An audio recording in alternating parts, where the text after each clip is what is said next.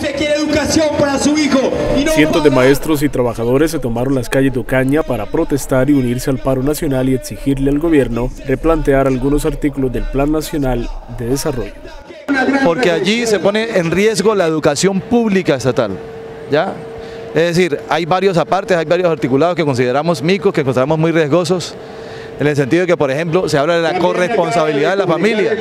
La corresponsabilidad de la familia, por supuesto, que tiene que ver la familia con la educación, pero la idea no es que un derecho tan fundamental como es la educación tenga que la familia empezar a sufragar, porque en última de pronto esa puede ser la intención.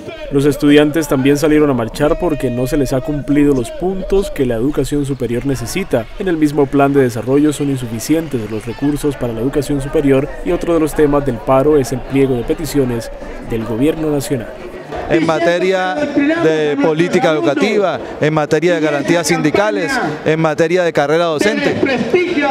Se ha avanzado, pero muy poco. Realmente lo que hemos visto en las negociaciones, porque en este momento están en negociaciones FECO y el Gobierno Nacional, hemos visto mucha dilación. En Ocaña, aunque se vio una masiva participación de docentes, se esperaba la asistencia de más trabajadores administrativos en la jornada de protesta pacífica.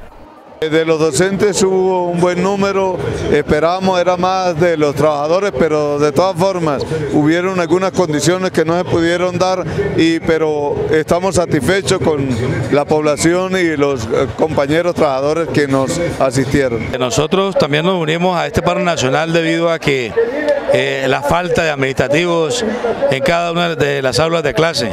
Yo como presidente del sindicato vengo a manifestar en representación de todos mis afiliados, nuestros compañeros que siempre manifiestan sobrecarga laboral. El gobierno nacional nos escuche, la comisión nos escuche para tener la garantía laboral que primero que todo.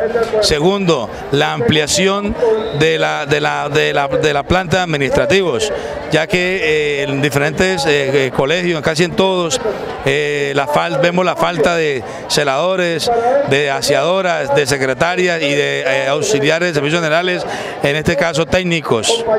Mientras se están reclamando los derechos de los maestros y trabajadores desde Asinoro Caña, se habla de un buen ambiente laboral, aunque existen algunas divisiones.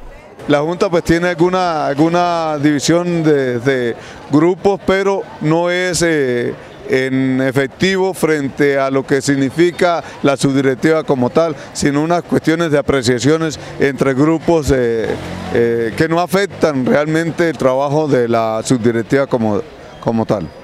FECODE mantiene actualmente un proceso de negociaciones con el Ministerio de Educación, en el que se espera que el gobierno demuestre voluntad política, así como en el proceso de negociaciones del pliego estatal, con el fin de alcanzar acuerdos en los tiempos establecidos por el decreto 160 de 2014.